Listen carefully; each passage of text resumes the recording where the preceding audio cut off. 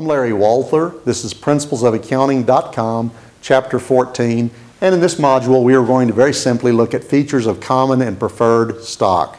Now, companies may issue different types of stock. For example, a family business may create a Class A and a Class B stock. They may retain the Class A stock, which has voting rights, and sell to the public the Class B stock, which does not have voting rights. They're able to share the ownership of the business but retain control of the business. Different classes of stock have advantages and disadvantages that can be modified on a company by company basis. Oftentimes, tax and financing considerations drive this process.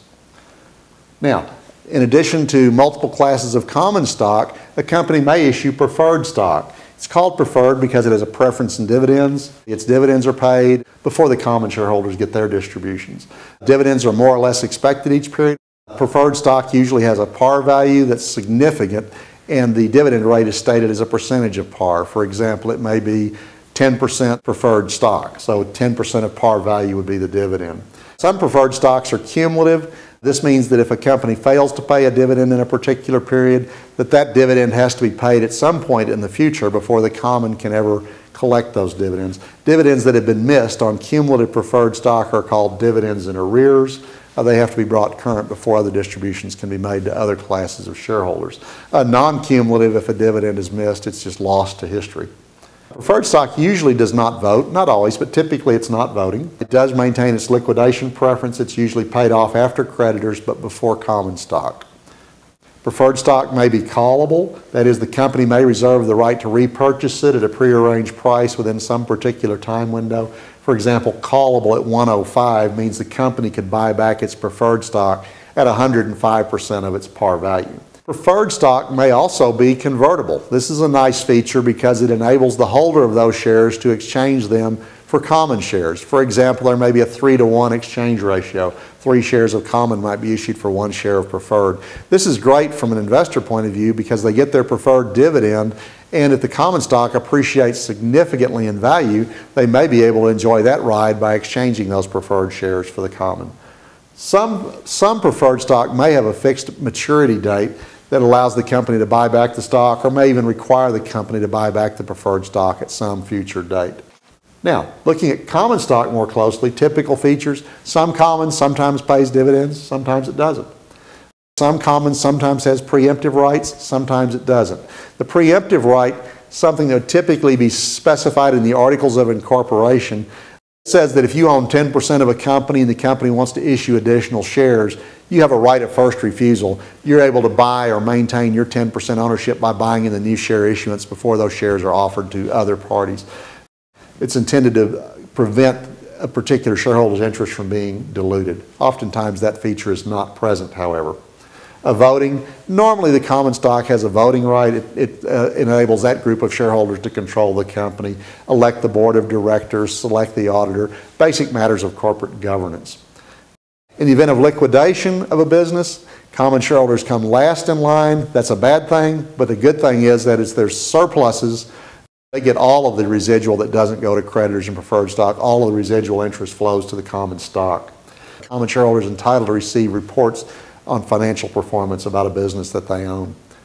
Par value, a par value represents the legal capital of the firm. There is some historic precedent for this, although it is long since lost in history. Original purchases of stock are contingently liable to the company if they buy stock below par value. That is, the company can later call for additional capital contributions. As a result, most companies, when they issue stock, will issue it at a price far above par value. That negates any concern about a, an additional call on shareholders for additional capital contributions. It's usually stated as a nominal price. You might see a $1 or even a 1 cent par value. As a practical matter, then, par value is not just real important. But it does trigger accounting significance. Uh, we record common stock at its par value, and any purchase price or issue price in excess of par value is recorded to a paid in capital in excess of par value account, as shown in this journal entry. Here, the company issued 100,000 shares of $1 par value stock for $1 million. So they issued it at $10 a share. There's the debit to cash, $1 million. The credit to common stock is the $100,000. That's 100 1,000 shares at $1 par per share, and the 900,000 difference goes to paid in capital in excess of par. Some companies may issue stock without par value, in which case cash is debited and common stock is credited for the issue price. There would be no need to maintain a separate paid-in capital account. A stock can be issued for other than cash for land or other assets. The specific asset account would be debited instead of cash, and common stock would be credited for the fair value of the asset or the fair value of the stock, whichever is more clearly determinable. Cash dividends. Dividends are a matter of board discretion, at least and certainly insofar as common stock is concerned. Uh, many companies, however, pride themselves in a long history of regular dividends and even an increasing dividends on a regular basis. Other companies prefer to reinvest accumulated earnings in new ventures of the business. A dividend declaration is a formal action by the board of directors to indicate that a dividend will be paid. It establishes a legal liability of the company. Dividends account is a direct reduction of retained earnings. So let's see what happens. On the date of declaration, we debit dividends and credit dividends payable.